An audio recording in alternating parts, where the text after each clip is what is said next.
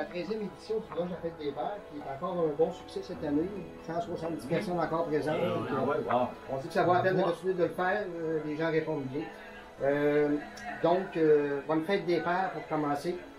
À vous tous, messieurs, aussi également. Ben oui, on sait.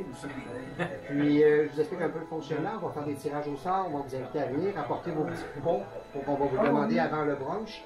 Et euh, quand tout le monde aura été servi, vous pourrez venir pour un deuxième, troisième, les plus gourmands, le quatrième service, il n'y aura pas de problème. Euh, c'est bon, sur ce, je vous laisse. Il y a trois jeunes étudiants bénévoles qui sont là pour vous servir le café, thé, jus. Oui, Tout ce que vous avez besoin, vous leur demandez, ça va leur faire plaisir de vous l'apporter. Hey, l'antichambre du paradis. Ah, bien. ben là, Merci. Merci, ça, bonne Je journée. te remercie là, pour tout ce que tu fais. C'est beaucoup Ben, de, merci beaucoup. de travail. C'est pour ça que je voulais Je suis là pour ça, là, mais ça me fait plaisir de le faire également.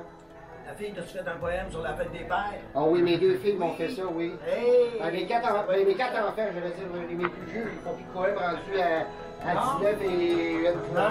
pourquoi pas? Hey. Mais euh, Ben, les jeunes filles. Nous sommes nous de mort. Moi, je dirais qu'il est loin, il est